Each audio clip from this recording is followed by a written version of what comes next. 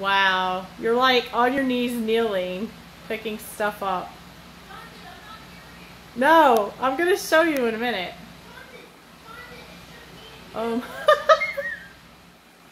nice Fortnite glitch.